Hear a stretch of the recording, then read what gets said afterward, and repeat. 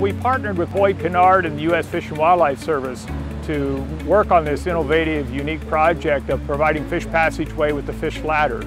And so uh, the, it's an experiential learning opportunity for our students, wonderful for the river and for educating people about stream ecology in the Eel Basin. Dams just cause a real dysfunctional fish populations.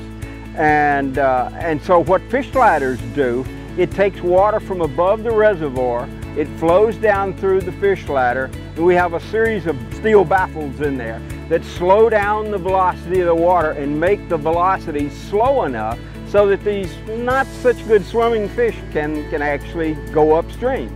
Fish swim up to the dam and if you were to walk out there right now, you'll see small fish trying to jump up the dam. Most people in the Midwest have no clue that our fish want to do that. They only think of things like salmon. And then they're going to swim laterally and they're going to bump into this fish ladder where they're going to sense that movement and they're going to try to go up. It's unique in, in every respect. There's no ladder like this. Okay, so this is the first one in the world. The ladder itself fits together like a Lego set. The site preparation that's gone in for the last, that was done last week, and that was to create an 8% grade.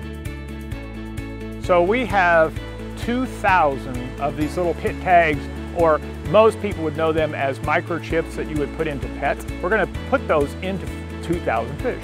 And we'll have an antenna that goes completely across the bottom of the river.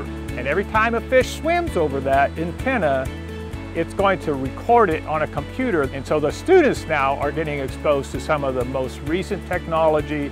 My primary goal in, in research in the Eel River is to provide experiential learning and research opportunities for students. Science does not work in a lecture in a classroom. Science works as collaborative efforts uh, with professional people. And that's what, that's what excites students about learning.